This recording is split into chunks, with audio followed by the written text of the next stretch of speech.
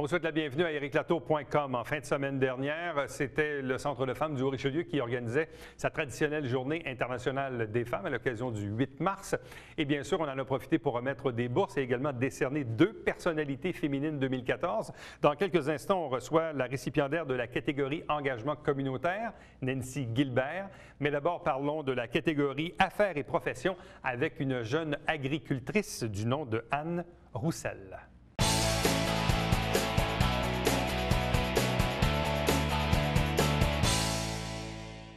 À chaque année, le Centre de femmes du Haut-Richelieu organise un grand rassemblement à l'occasion de la Journée internationale des femmes et on en profite également pour décerner certaines bourses et aussi euh, décerner des titres, titres de personnalité féminine de l'année. Cette année, donc, deux catégories. Catégorie affaires et professions avec nous, la récipiendaire, Madame Anne Roussel. Bonsoir, bienvenue et félicitations. Merci beaucoup. Donc, vous êtes un peu comme euh, l'héritière euh, d'une ferme familiale à Mont-Saint-Grégoire qu'on appelle la ferme Cadet-Roussel. évidemment, j'ai cru comprendre que vous luttez beaucoup aussi contre le fameux préjugé où on pense que pour être agriculteur, ça prend des hommes, ça prend des muscles, ça prend des gros bras, alors que l'agriculture est en changement. C'est certain qu'il y a de plus en plus de femmes qui pratiquent la, profession d'agricultrice, euh, de fermière. Euh, c'est sûr qu'Équiterre a beaucoup promu les fermières de famille, les fermiers de famille. Euh, c'est clair que toutes les agricultrices qui ont affaire directement avec leur public sont tout de suite beaucoup plus vues par la vente directe. Mais il y a énormément d'agricultrices qui travaillent encore dans l'ombre, qui sont, que les fermes sont au nom de leur mari, qui ne profitent pas de... Ben, profitent de la peut-être pas d'une aussi grande visibilité que leur, euh, leur, ben, D'ailleurs, ce, qui m'a, euh, ce que j'ai trouvé particulier tantôt en préparant l'entrevue, évidemment, les, euh, vous savez, pendant une entrevue de télé, il y a toujours un titre qui apparaît sous votre nom. Et tantôt, j'écrivais dans l'ordinateur agricultrice. Et là, mon Microsoft Word m'indiquait qu'il y avait une faute de français. Donc, là, j'ai regardé si je l'avais bien écrit. Je l'avais bien écrit. Donc, ça veut dire que le mot agricultrice n'est pas encore dans la machine. Non, c'est ça. Ben, ça, c'est la preuve là, que. c'est certain que c'est une profession qui, qui, qui, se, qui change, euh, qui évolue, comme beaucoup de professions euh, au Québec euh, dans les dernières années. Euh, c'est plus une surprise d'apprendre qu'une femme est chef d'entreprise d'une ferme, mais quand même, il y a beaucoup de, de choses à travailler. Des fois, il y a des gens qui viennent à la ferme qui demandent à voir le patron. Je dis, ben c'est moi.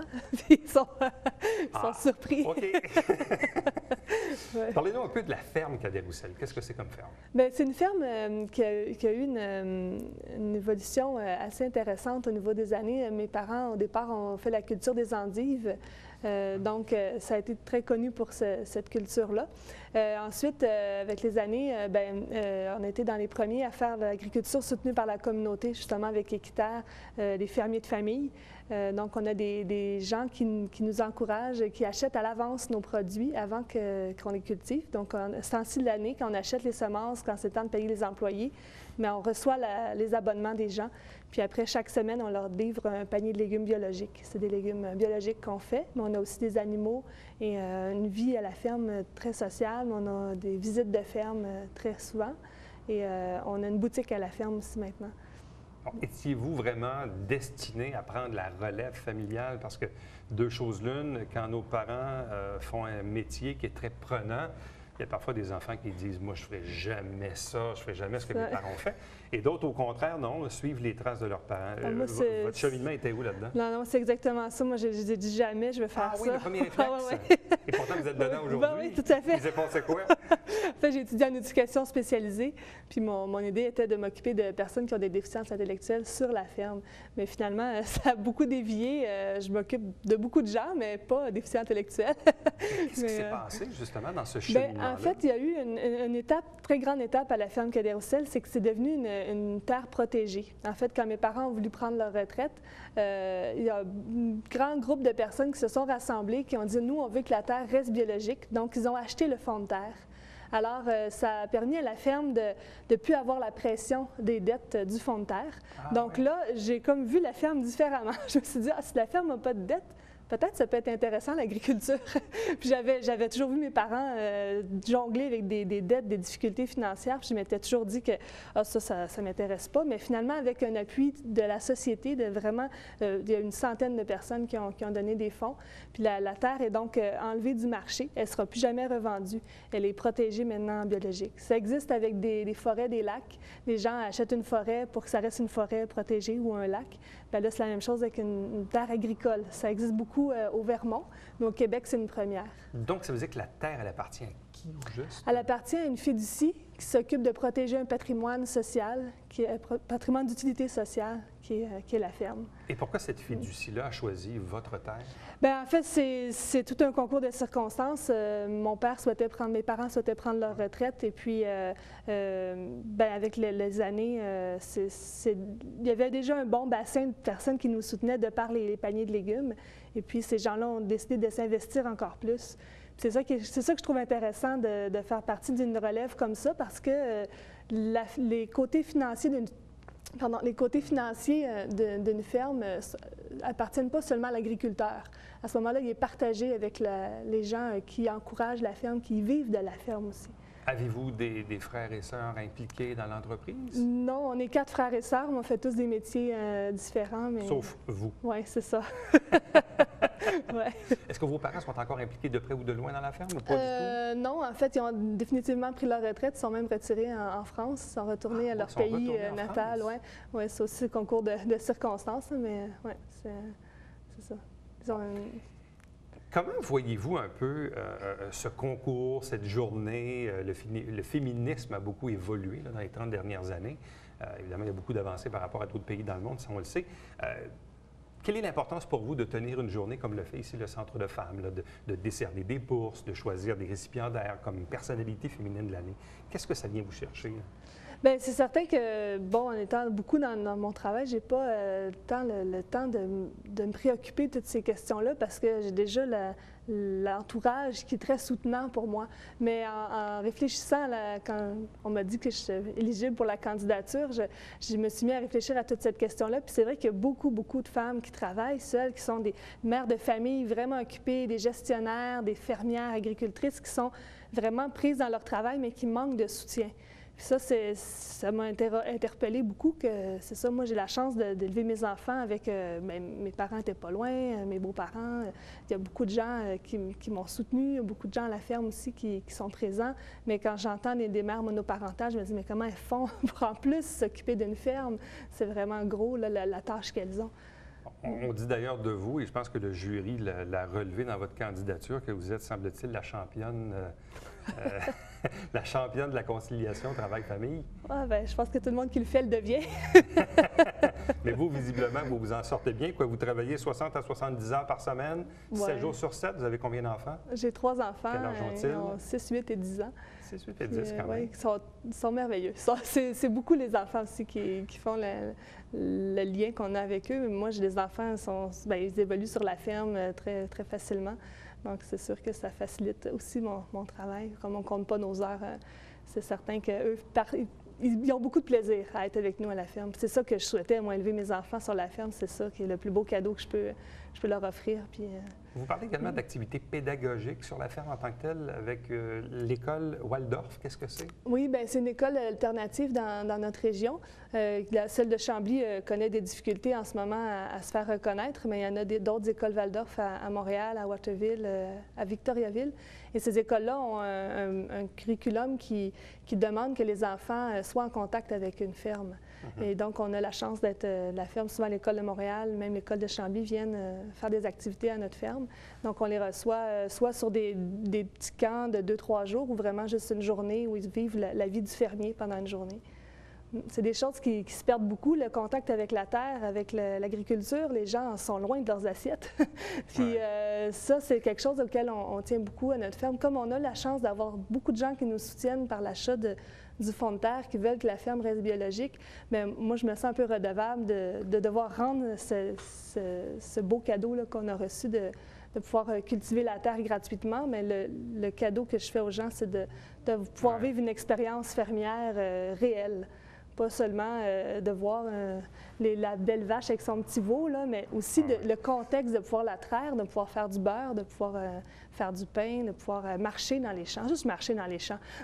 les gens ne marchent plus dans les champs. Au final, dans le fond, on cultive quoi chez vous? Nous, on fait de la culture maraîchère. On a une cinquantaine de variétés de légumes.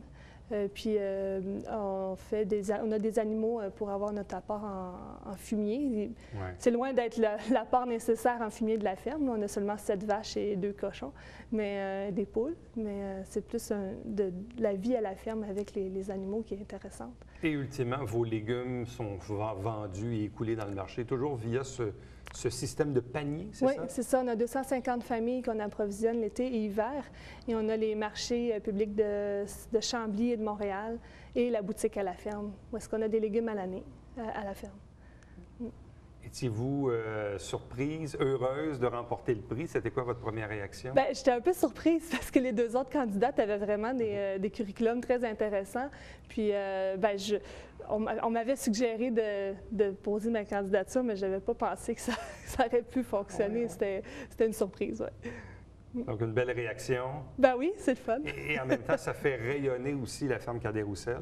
Oui, mais je suis surtout contente de faire parler des agricultrices. C'est vraiment ça qui est mon, point euh, auquel je, tenais, de, de, refléter la profession et que les gens prennent le temps de remercier les fermières qui les nourrissent, les agricultrices qui travaillent pour eux, pour qu'ils mangent tous les jours, puis que, que la profession prenne une importance euh, au niveau féminin euh, plus grande. Mm. Bien, félicitations encore une fois pour euh, ce prix. Euh, bonne chance donc pour la, continuation de la ferme Cadet-Roussel du côté de Mont-Saint-Grégoire. Merci beaucoup. Merci beaucoup. Merci. Reste avec nous puisqu'au retour, on reçoit l'autre personnalité féminine de l'année 2014 dans le Haut-Richelieu. Elle est propriétaire d'Oxybec et elle est surtout très, très, très engagée dans le communautaire. Il s'agit de Nancy Gilbert.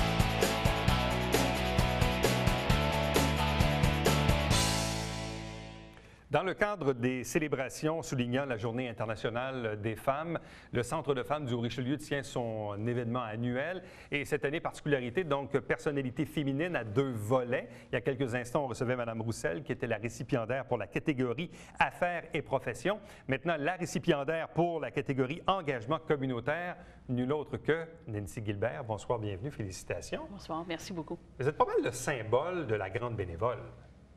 Ici, dans la région, j'entends là. Il y en a d'autres, mais vous faites partie pas mal du top 5 des Madame bénévoles à Saint-Jean et dans le Haut-Richelieu. là. Bien, peut-être plus visible. Peut-être. Il y a plein de gens qui font plein d'heures de bénévolat sans être.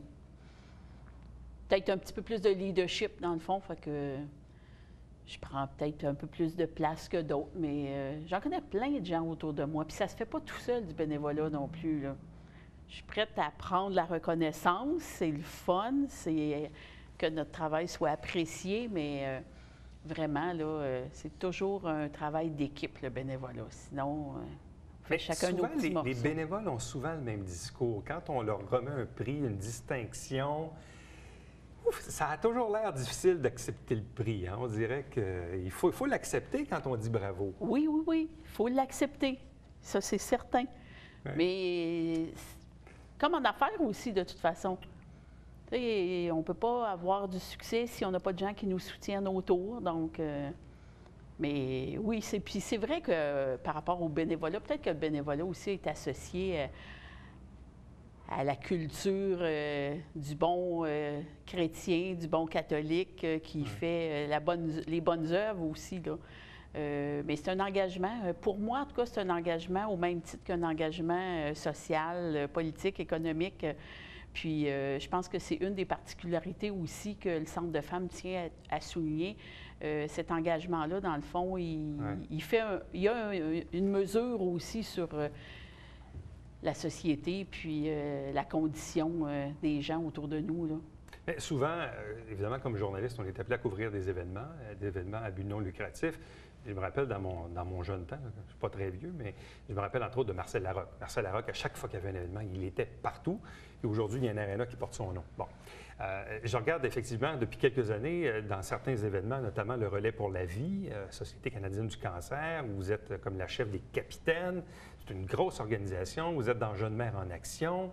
Là, je dois en oublier. il doit y avoir d'autres. Le réseau de femmes d'action aussi. D'où vient ce désir de faire du bénévolat, d'aider les autres? C'est sûr que mes parents étaient des gens qui étaient déjà engagés aussi. C'est des gens qui vivaient dans leur communauté, euh, qui euh, étaient attentifs aux besoins des gens autour de nous. J'ai eu la chance de voyager. J'ai eu la chance, et moi je considère que c'est une chance, d'être déménagé souvent, d'être enfant unique en plus. Donc, c'était ma manière, moi, à chacun des endroits où Ah. j'arrivais, de m'implanter, de m'impliquer, de connaître les gens. Fait que c'était. euh, j'ai été une résidente de Lac-Mégantic aussi longtemps. Ah. Fait que euh, quand je suis arrivée, on mettait sur pied une, euh, un centre de soutien au développement de l'informatique. Il y avait un petit laboratoire qui se mettait en place. Aussi, ça, ça, ça dit quel âge que j'ai finalement. hein? Bien, on partageait, dans le fond, une, une connaissance, un intérêt. Puis ça a été comme ça, à chacun des endroits. Puis c'est probablement un peu comme Obélix parce que euh, à chaque fois, je me disais, ah, je pourrais aider pour faire telle autre affaire aussi, ah, je pourrais. Puis partager. Tu sais, dans le bénévolat, moi, des fois, ce que je trouve difficile, c'est de repartir, de recommencer. Tu sais, tandis que quand on est dans d'autres milieux, on accepte de prendre le savoir des gens ou on partage les outils. Des fois, dans le bénévolat, les gens font un petit bout, puis oups, on ne peut plus bénéficier de leur, euh, de leur savoir, de leur connaissance, de leur expérience. Ça, pour moi, c'est important, d'embarquer des jeunes qui prennent la relève, puis euh, on peut essayer toutes sortes de choses, mais à un moment donné, on a développé des outils aussi, on développe des expertises, des manières d'interagir, des outils. Euh, puis pour moi, fait qu'à un moment donné, j'ai tout ça, puis je le partage en d'autres parce que là, c'est l'action communautaire à Saint-Jean. Euh, tu le sais, je suis impliquée en sport automobile aussi. Là aussi, c'est à l'extérieur de la région, mais ça revient un peu tout au même. Là. Cette semaine, on parlait aussi euh, euh, de, la- de Serge Mongeau à Québec avec les éditions Éco-Société. Puis je me suis dit, ah oui, oui, oui. Ouais, quand j'avais 21 ans, je faisais du bénévolat pour eux autres. Tu sais, c'est. Mais c'est pareil, organiser le relais pour la vie ou organiser un autre événement, dans le fond, c'est, c'est d'avoir du leadership, de- d'identifier aussi les, les capacités des gens. Ça, c'est peut-être une chose que j'ai aussi, de voir un potentiel en- dans chacune des personnes, puis d'essayer de faire en sorte que ces gens-là utilisent ce potentiel-là. Quand on reçoit un appel de Nancy Gilbert, est-ce qu'il faut tout de suite vérifier son agenda? Non, La première question, c'est es-tu es-tu disponible? non, non, non. Ou- Les gens savent, mais ah, euh, dans le fond, tu fais le lien un petit peu quand je dis j'identifie le potentiel. C'est sûr que quand je dis Ah, tu pourrais-tu me rendre service? La personne sait que je connais un petit peu sa situation, puis que je vais essayer de faire une demande, dans le fond, qui est réaliste. Oui. Je pense que c'est dans, dans cet objectif-là que les gens n'ont pas peur quand je les appelle ou n'ont pas peur quand je fais une petite demande. De- dire euh, oui, si elle a pensé que j'étais capable de faire ça, ça. ça ou de donner un petit peu de temps, je vais, le faire. Vous habitez la région depuis combien de temps? Euh, en fait, ça a été tranché parce que je suis allée à Québec pour euh, les études universitaires. Fait que depuis euh, la mi-secondaire. Mi-secondaire. Ouais. Bon, vous êtes propriétaire de l'entreprise Oxybec, Oui. produits médicaux, Oui. sens large. Là. Oui. Donc, ça, c'est le côté affaires. Puis le côté communautaire, est-ce qu'il prend autant de temps que le, le côté affaires dans une semaine? Oui, oui. La vie a fait en sorte que j'ai pas de famille, j'ai pas d'enfants. Donc, euh, à peu près comme n'importe quelle maman de famille, ben j'ai 40 heures euh, de travail ou proche 40 heures de 50 puis 40 communautaire. heures de communautaire. euh, Il est Un job là à le temps temps. plein, ça? Oui. Mais c'est ça. La, la vie de plein de gens, c'est d'avoir une, deux, trois vies. Donc, Donc, vous, ça, c'est votre vie. oui, Celle du commerce et celle de l'engagement communautaire. oui. Puis les liens d'amitié sont là, le soutien. euh, Mais ça, c'est l'autre côté de la question, parce que, bon, quand on est en affaires, évidemment, on est là pour faire des sous, gagner notre vie, puis payer nos factures comme tout le monde. L'engagement communautaire, c'est quoi le bénéfice en bout de, en bout de ligne? la satisfaction de s'assurer que la société s'améliore, que la société va de l'avant, euh, partage du soutien, puis l'utilisation optimale des ressources. On est en campagne électorale autour de nous, et on parle toujours de ça. Ah, euh, il y a plein de choses qui coûtent trop cher, il faut réorganiser, il faut faire un plan stratégique, mais quand on fait du bénévolat, on le fait. On a peu, il faut faire beaucoup. On a plein de besoins qui nous sont présentés. On ne peut pas tous les combler, mais on, on essaie de trouver les moyens, dans le fond, de soutenir tous les gens, puis que les gens se responsabilisent là-dedans aussi. Euh, on a parlé, dans le fond, euh, un peu euh, rapidement tantôt de Jeunes mères en action. Jeunes mères en action vient en aide aux mères célibataires. Dans la région, il y a un centre de jour qui les Ouais. accueille et il y a un centre, dans le fond, qui est un- des loyers à prix modique pour celles qui retournent aux études. Bien, on les outille. Dans le fond, on leur donne une deuxième, une troisième chance dans la vie de dire je vaux quelque chose, puis il y a des gens qui le reconnaissent pour que j'aille plus loin. Vous êtes aussi impliqué dans le comité, euh, en fait, dans le comité de développement local du Conseil économique, également actif au sein du regroupement des travailleurs autonomes du Richelieu. Donc là, quand je fais le total, ça fait à peu près 5 à 6 organisations là, de ce temps-ci. Ça doit varier selon les années, j'imagine. Un petit peu. C'est ça, 40 heures par semaine. 40 heures par semaine. J'ai un autre avantage aussi. J'ai pas besoin de beaucoup de sommeil.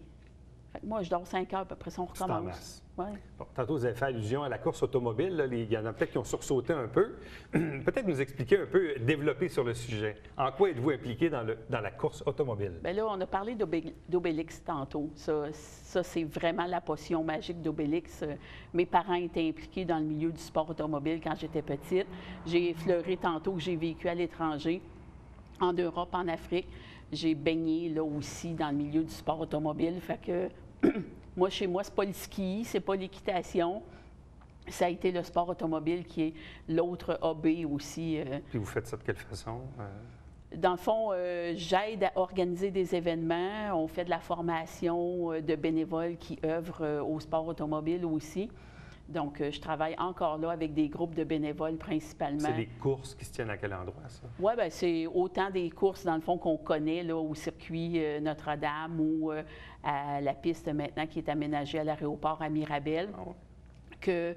complexe Sonnaire à Saint-Pie-de-Bagotte et des rallyes automobiles. là, dans la région, on connaît Antoine Lestage, qui Ouais. est mon cousin. Donc, euh, c'est de famille chez nous. Cette... Fait que moi, je- dans le fond, j'organise les événements pour qu'Antoine puisse aller chercher ses trophées à lui.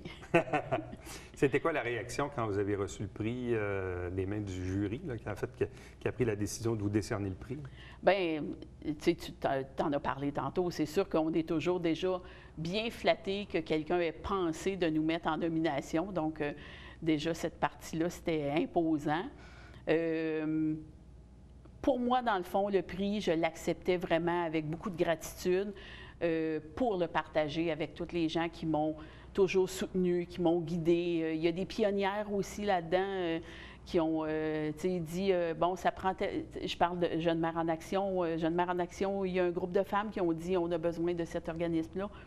Et euh, le contact avec tous ces gens-là dans ma vie, dans le fond, ils m'ont montré que partager, là, c'était pas diviser, mais c'est multiplier.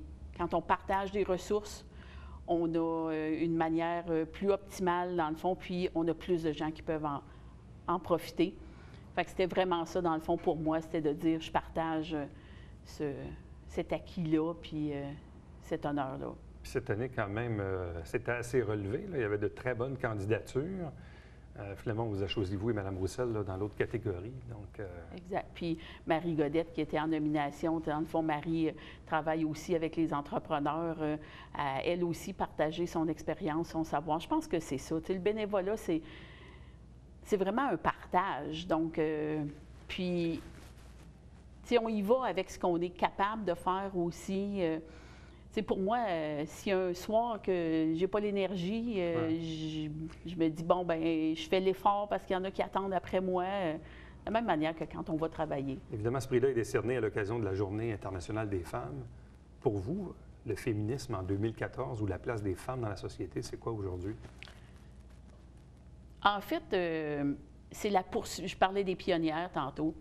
Je pense que les, les combats sont peut-être différents, euh, mais c'est encore euh, d'être reconnu, de ne pas ah, parce que tu es une femme. on devrait. Mhm. On est des êtres humains à part égale des ressources. Tantôt, on a parlé de sport automobile, on a parlé de jeune maman. Pour moi, dans le fond, tous les humains, on a les mêmes besoins.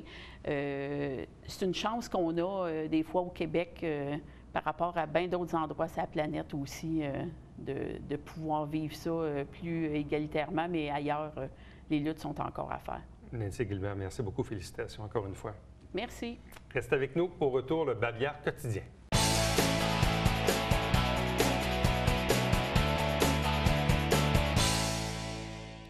Si vous désirez bien sûr parcourir la Montérégie à vélo, bien, sachez euh, qu'il y a quatre hôtels sur le territoire, notamment le relais gouverneur à Saint-Jean, qui est comme le point de départ et d'arrivée d'un forfait avec euh, quatre jours, quatre nuitées dans quatre hôtels. Ça coûte pas très cher. On appelle ça le parcours iroquoien. Vous pouvez obtenir des renseignements sur le site Internet du relais gouverneur Saint-Jean. À chaque semaine, on vous présente des extraits du Conseil de ville, les travaux avec euh, les élus, le maire et le conseil. Euh, vous avez la grille horaire à l'écran. Nous, on fait la captation le premier et le troisième lundi du mois. Et avec un conseil, on fait deux émissions les deux mercredis suivants. Chaque dimanche matin, 9h30 en direct, c'est le Télébingo avec 3500 dollars en prix, dont la carte pleine qui est à 2000. Il y a environ une trentaine de dépositaires sur le territoire des MRC au Richelieu et de Rouville. Pour obtenir la liste, consultez le site Internet de la télé ou vous téléphonez ici directement. Voici les coordonnées de la télévision du Richelieu pour me rejoindre directement par courriel. Éric Latour en un mot à commercial tvhr9.com. Visitez notre site Internet également pour voir ou revoir les entrevues que vous avez manquées. Et d'ailleurs, nos entrevues sont dans un format YouTube, donc disponible pour vos appareils Apple. À demain. Bye bye.